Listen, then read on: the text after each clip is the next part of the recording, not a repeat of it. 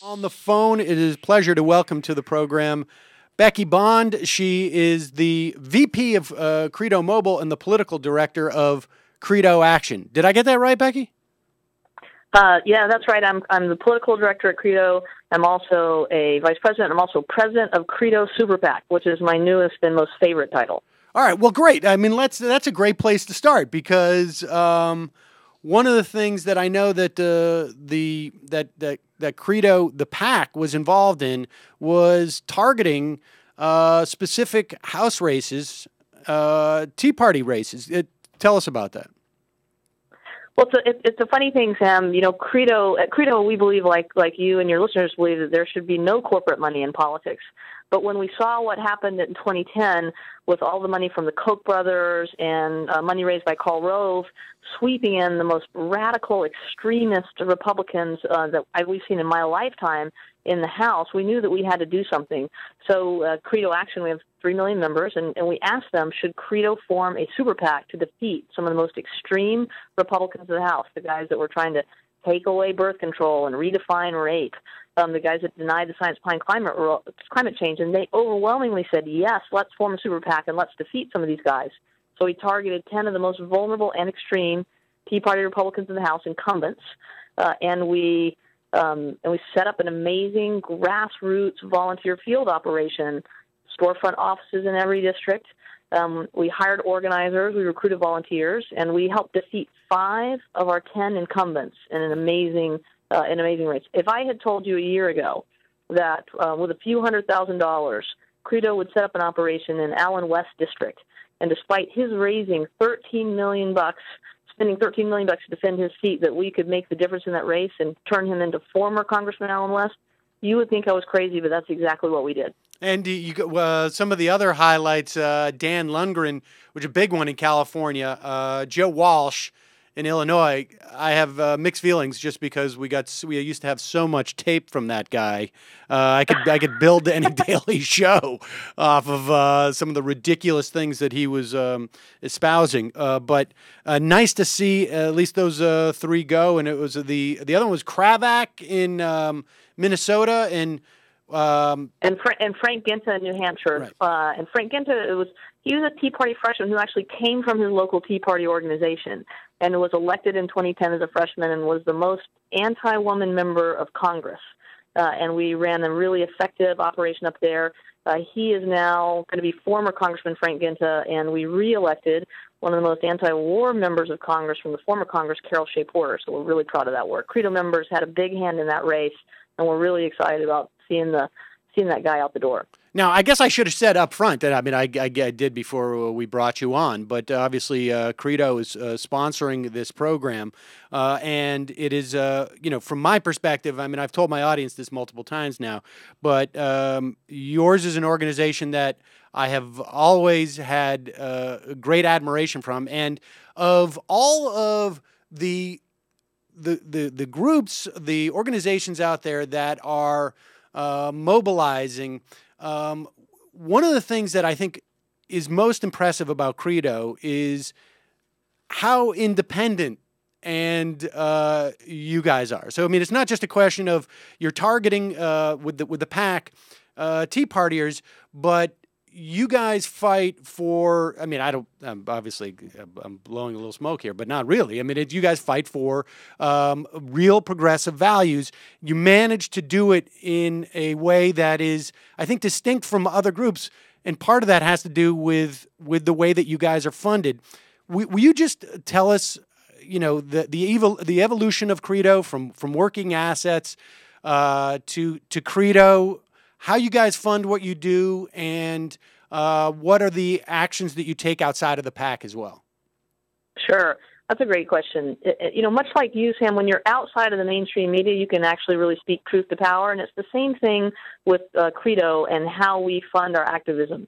Uh, we're really a social change organization that instead of going to big donors and asking for money, we run a phone company uh, and the proceeds and the revenue from that phone company funds our activism. So we only have to answer um, to our conscience when we go out there and run campaigns. We don't have anyone, any donors saying, "Oh, don't talk about that right now," or we can't hold the president accountable because we need to reelect him. We get to go out there and we get to fight for choice. We get to fight to stop the wars. We get to fight to hold Wall Street accountable no matter what anyone says. Um, and the more that we work to be successful and say what we believe and hold uh, people in power accountable no matter what party they're in, that's the more people want to participate in our activism and become customers of Credo Mobile. We started about 25 years ago, and we were started by a group of progressive economists uh, who just didn't want to raise money, but they wanted to make sure that great progressive groups, not just do gooder groups, but progressive groups that were fighting for choice, fighting for justice in Central America, could have funding. Um, a, a, revenue stream um, that would um, be independent of all these corporations were funding bad things, but there were no corporations funding good things. So they they founded a really good company called Working Assets, uh, and for a long time, uh, Working Assets uh, was a long distance company, and many of you may know it as that. And one of the great things about working assets was that just every month when you paid your bill, a portion of the money that you gave to the company went to great groups. And over the years, um, we've become we're the largest corporate contributor to Planned Parenthood. We've given over a million dollars to the Rainforest Action Network. We fund lots of great groups through their phone service. Now, as long distance goes away, um, we decided that what we needed to really do is be a mobile phone company because fewer people had long distance, whatever it was getting mobile phones. And so when we changed, um, uh, moved into the mobile business, we changed our name to Credo Mobile, uh, and we started doing the fierce kind of activism uh, and uh, and getting our customers to switch their long distance to Credo Mobile, and that's where we are today. And so let's let's talk about some of. I mean, um, the. I mean, how does it break down with? With Credo Mobile um, spends part of its profits in supporting uh, these different groups, and you can uh, people can check it out uh, by heading uh, to uh, Credo Mobile dot com forward slash majority and there you can see all the different um, actions that are taking place uh, or, or, where what credo has supported through the years very transparent um, in that respect. What are the, the it's really an interesting model because, and it's not even just the profits. What we do is we give a portion of our of our revenue. So literally every time you know you pay your phone bill, if you're a Credo Mobile customer, part of that money goes to the progressive nonprofits that we're uh, supporting, whether it's Planned Parenthood or whether it's Doctors Without Borders or whether it's Democracy Now. The money goes, no matter whether we're making a profit or not, a portion of your phone bill goes directly to those groups. We also run, you know, where other companies are running marketing campaigns.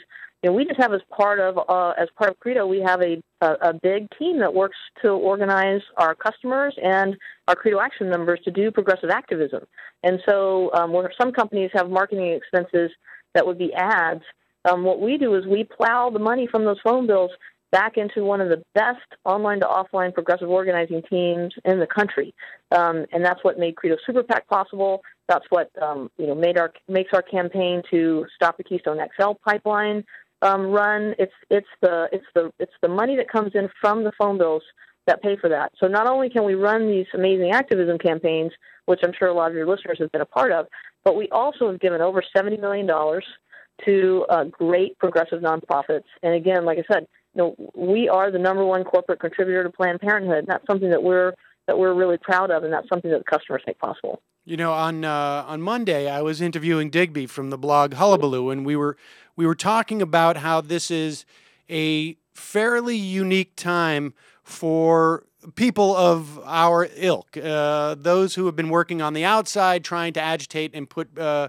and and gain some leverage uh, with House members in the uh, Democratic caucus, um, with the president.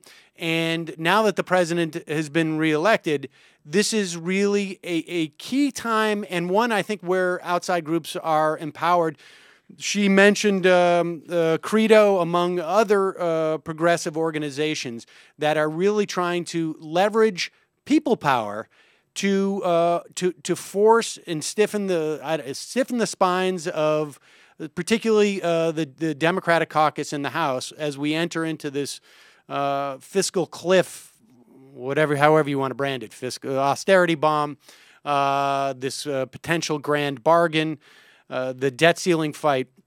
What are you guys doing uh, right now in terms of? Because I know that back in even as early as March, you guys were pressuring Steny Hoyer and exposing his position where he's putting things like Medicare and Social Security on the table in, in negotiations with the Republicans.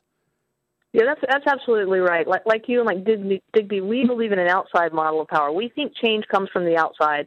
We don't think that if we walk into the office of Steny Hoyer on Capitol Hill you know, that we'll be able to make an inside deal and, and he'll fight for everything that we believe in, like no cuts to Medicare, Medicaid, and Social Security benefits. We believe that the politicians in Washington, D.C., whether Republicans or Democrats, they only do the things, most of them, that we make them do because they're under enormous pressure from the right. And so when you look at phone companies like AT&T, they're one of the biggest campaign contributors to Congress, and they're certainly the biggest contributor to the members of the Tea Party caucus.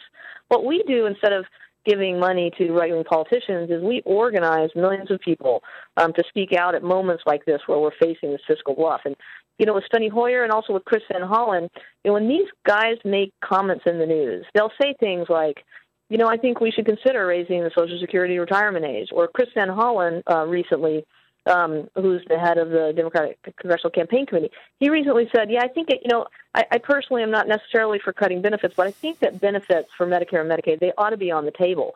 Uh, and when these guys say things like this, we immediately shoot out an email um, to our Credo Action members uh, in their district, and we say, "We want you to give Steny Hoyer a phone call." Like we did in March, and we say, give him a phone call and tell him that you are absolutely opposed to this being on the table at all. We generated about 5,000 calls, not just from Hoyer's district, but because he's part of the leadership from across the country, um, to him saying, just you cannot talk about putting this stuff on the table. Recently, Chris Van Hollen, just a couple of weeks ago, um, said something about um, this all ought to be on the table hmm. in an interview with the Wall Street Journal. And we had a bunch of people from his district call in. And let me just tell you the angry call we got at Credo HQ from his uh, chief of staff saying that we mischaracterized it, and we just we read back the quote. Did he say this? And he's like, that's not what he meant. And we said, you know, and they said, stop misinforming your people. And we said, you know what? We think that Chris Van Hollen should make a public statement saying that he would absolutely not vote for any bill that would contain cuts to Medicare, Medicaid, and Social Security benefits. And they said, well, we're not going to make that statement. And then we said, well, we're going to keep those phone calls coming. So it's our job to make people in power uncomfortable, and the elites in Washington, D.C., on both sides are just way too uh, apt to give away things that people in their district hold dear, like Medicare, and Medicaid, and Social Security benefits. So we're, you know, we're we're with our people, and we're going to fight to the end on this. And you know, we don't believe in compromise as a place where you start in these arguments. We believe that you say what you want to win, and then you fight for it, and then you see where you are at the end. You don't compromise at the beginning, and that and that's what we do uh, as a company, and that's what our members want to do. And we're it's our job to help fight for uh, the progressive values, not get in the back room and, and, and make a terrible compromise um, uh, where the people that voted into office have no power at all. I got to say that not only do I love that uh, your you, your uh, credo uh, folks were able to force uh, Van Hollen's office to call you, but I love the fact that you can talk about it. Because so often, I mean, this is this is you know this is sort of the thing that I've been trying to communicate to people is that so often with these groups, they'll do an action like this, they will get that call, and they can't talk about the fact that they get that call because somehow it's that relationship is where the leverage is. But here it is just, it is literally you're putting their feet under the fire, and it doesn't make a difference if they know that you're talking about it because it continues to put, it com- compounds uh, that pressure. And that's one of the things I really appreciate. Now, we just got a couple minutes here. So I got a couple uh, questions in terms of the phone service, uh, but also we've had great, great response from uh, our listeners already, uh, and ranging from Sam, you're a bad marketer because you didn't tell us that uh, the Majority Report uh, promo, people get a $350 uh, credit to buy out our existing contract. I'm going to do a better job with that. Um, one of the things that people wanted to ask me about was one, are you guys going to get the iPhone? Right now, you're you're talking to me on a um, a Samsung Galaxy. Sounds great. Uh, some people wanted to know about the iPhone. What's uh, a chance? well, so uh, so right now we don't have the iPhone. I do not know what the future holds you know, right now I'm talking to you on the Galaxy S3, which is an which is an awesome phone. Um, uh, uh, you know, you probably know as much as I do if you read in the newspaper about what's going on with Apple and supply chain and all that right. kind of stuff. Personally, if we get the iPhone, uh, I'm going to stick with my Android Galaxy S3. in part because, first of all, it's a faster phone, and I think it's a better phone, but also because I've become addicted to swipe. Now, I don't know if you're using People have told me that, yes. Uh, so this is the iPhone doesn't have. And, and uh, someone in D.C. who's, a, who's an activist challenged me. He said that he can write emails faster with one hand and swipe, or as fast with one hand on swipe uh, on public transit than he can at his keyboard uh, of his of his uh, of his of his MacBook. And mm. so I've taken up this challenge myself, and I think that the that the Galaxy S3 is an is, a, is an awesome phone.